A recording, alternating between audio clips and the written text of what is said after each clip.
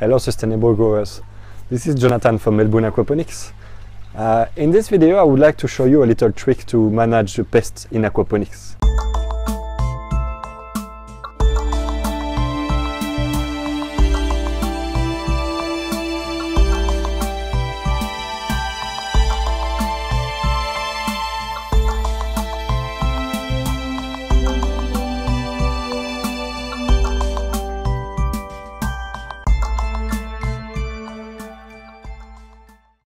As you know, in aquaponics, we don't use any pesticide or any uh, chemical to get rid of the pests. Uh, and therefore, we, we rely on nature and on the different interactions you can have uh, between the different living creatures that are into the ecosystem, the aquaponics ecosystem. Uh, at the moment in Melbourne, in Australia, uh, this is the end of winter, and therefore the, the aphids are starting to grow and uh, to colonize our crop. Unfortunately, the predators are not uh, very present yet. Obviously, they are they are coming, but uh, it's still very cold, and they take a, they always uh, take a bit of time to arrive. So we always got a peak of uh, pests, a peak of uh, of aphids, and later on we got the predators that are coming. Um, and it, it may take a few weeks actually. So during this time, the aphids are very happy and they are growing very fast. So obviously um, I lose a bit of my crop, which is okay. Uh, it's part of the of the of aquaponics and of working with nature. Uh, but because we don't have the uh, predators yet, uh, I'm going to use uh, I'm to put the plant to in contact with other predators, uh, which are actually the fish. So I'm going to take few plants that are extremely affected by the by the aphids. I'm going to put them into the fish tank for a nice clean. Uh, and that's what we're going to do right now.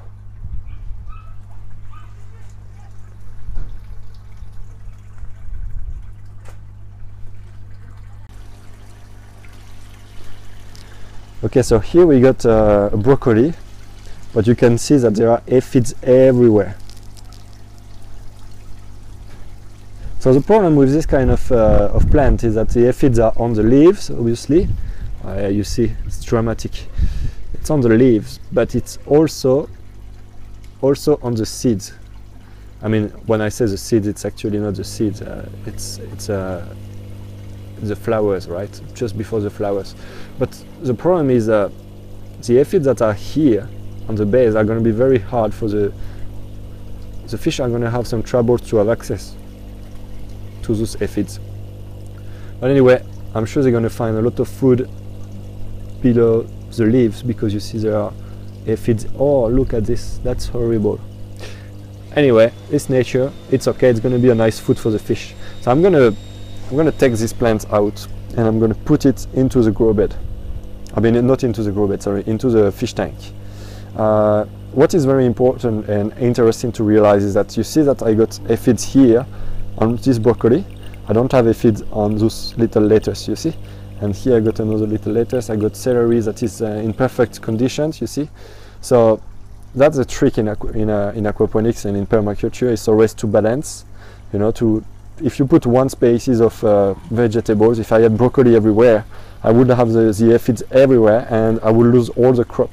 Here I only lose this plant and a uh, few others that, that were around few other broccoli but I don't lose everything you see. And and a bit further here I got some other broccolis that are going very well. I don't have any aphids on them. You see the leaves are perfect. You can look underneath. It's very, very clean.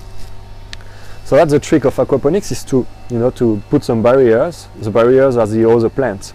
And therefore, even if I lose a few here, I can still have some broccoli here, but also I got all my other crop that is in perfect conditions. You see, even this broccoli went into flowers because I didn't pick it on time. I was on holiday. I was aware. But you see that everything is going really well. I just have a little problem on this one and I had another problem on the one below at the back.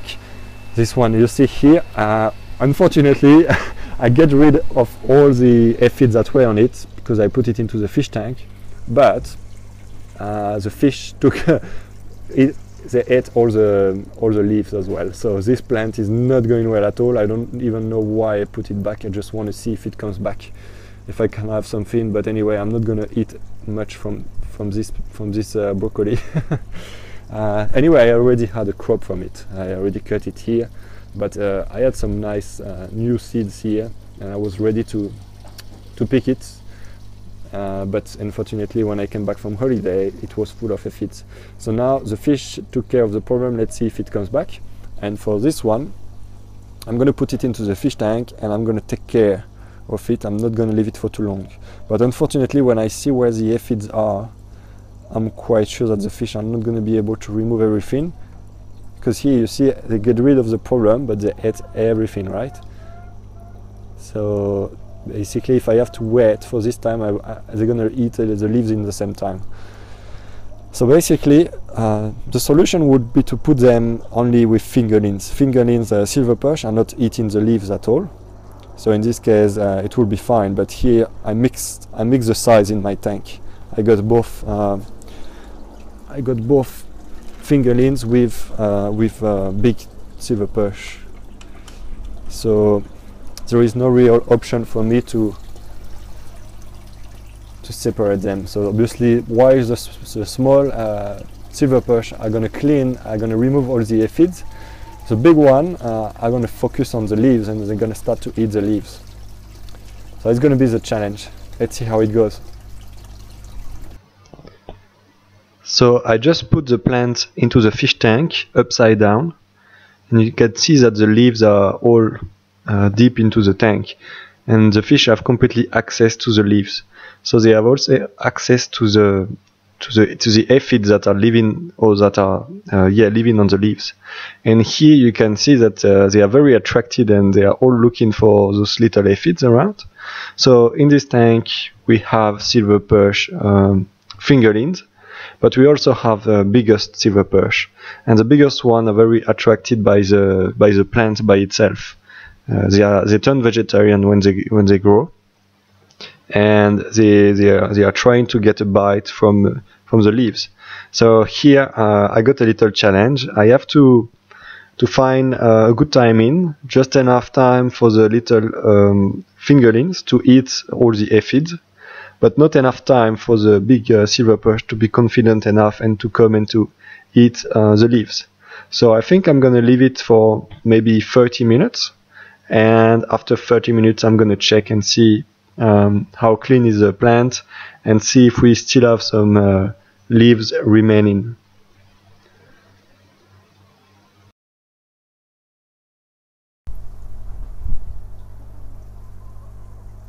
Okay, so it has been now into the water for maybe 30 minutes, a little while, so I'm gonna stop. Um, even if we still have few aphids, I think so because I see that the fish are still on. Um, I prefer to remove the plant now, otherwise uh, the big silver perch are really gonna eat all the leaves and I'm gonna lose the plant. So we'll see what, we'll see how it is now.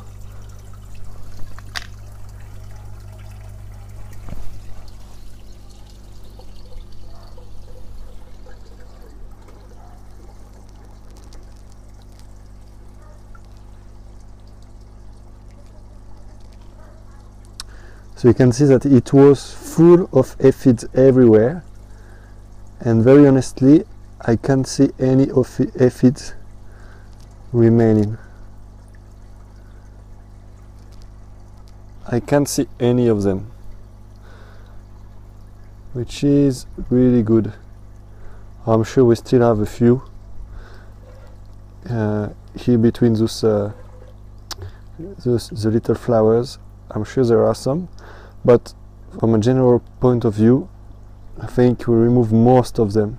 Oh yeah here but I'm sure that that's a leaf. Oh yeah here we still have one. They missed all those ones. But otherwise you can see that they definitely took care of the problem. And I could definitely put the, the, the plants back into the water and they would take care of the problem 100% but I'm just scared that they would they would eat the flowers and the seeds and the leaves so I'm just going to put it back plant it back and see how it goes I'm, I'm going to remove the the aphids that are still on the leaves that we can see with my fingers and put them into the fish tank later on. So now I'm going to plant the, the broccoli back into the grow bed.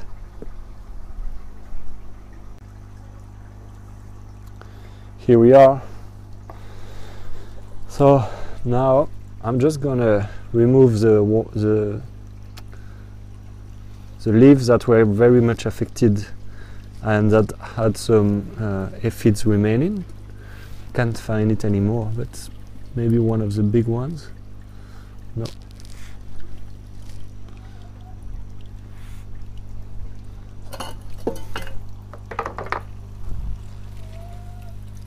Ah, yeah, it's here. That one. I got it. So here you can see that we still have some aphids. So what I'm going to do is leaf, I'm going to put it into the fish tank and the fish are going to have a feast. And yeah, we'll see how this one goes. Or I'm sure that the, the aphids are going to come back anyway because I see that we still have a, a few between the flowers. But anyway, we took care of the problem here, it decreased the population. So this plant is still very weak, but I hope that uh, some predators are, are going to come and uh, take care of the problem. And uh, by keeping this plant here, the, the few aphids are going to still develop on this plant, and it's going to avoid to affect the other ones that are gonna that are in perfect health. You can see that this technique is working quite well depending of the kind of fish you have. Obviously, you need to have fish that are adapted to this kind of uh, pest. Eh? If you got very large fish, they are never going to uh, eat uh, smaller aphids. And um, if you got vegetarian fish, such as I do, I got silver perch. So if they are small like mine, that's okay. If they are big, I got a few big ones into the tanks. They are vegetarian. So if it's a soft plant, such as uh, lettuce, you can't do that. Because as soon as you put the lettuce into the, the tank, Obviously, the silver perch are going to get rid of the aphids, but they are also going to get rid of the lettuce of the of the salad, right, of the whole plant. So you can't do that with this kind of plant. Uh, if it's cabbage, you know, those kind of uh, leaves that are a bit stronger, you can do it, but just keep an eye on, on them because after a while they eat it anyway. Uh, I, I, did, I made a mistake with a previous plant and uh, while the plant lose all the leaves. Obviously I don't have aphids anymore, but uh, a plant without leaves is not the best anyway, it's it's mostly for fun because those plants that I'm I'm putting into the tanks are very very much affected by the aphids, and even now removing the aphids is a bit too late. Uh, I'm just back from holiday, so uh, I couldn't do it before. But uh, yeah, normally we should do that a bit earlier. So anyway, it's still a, a funny thing to do because you get rid of the pests and it feeds you fish. The fish really love to have this kind of uh, live uh, food, you know. Uh, it's, it's the best food you can give to your fish, you know, this kind of live insects. It's full of vitamins, full of proteins as well, um, and it's completely natural. And it's really into the, you know, the, the mindset that you should have in aquaponics and in permaculture to work with nature and to use a waste or a pest or something that is a problem and to use it as a as something that has value for the system. You know, like here, it's it's the food of the of the fish at the end. So, you know, the food of the fish is is very costly uh, uh, it's costly, obviously it costs money to buy the food, but also it's costly for the environment because uh, the food is manufactured by factories and it's really a processed thing that we really don't like. We are not really proud of it in aquaponics. So when you can replace a bit of the pellets that you give to your fish by live food that is free and that is available thanks to nature, uh, do it. So here we change a problem into, uh, into an opportunity. So I hope you enjoy the video. I hope you put it in, in application or you use this technique uh, into your aquaponics setup. Thank you so much for watching the video. I really hope you enjoyed it.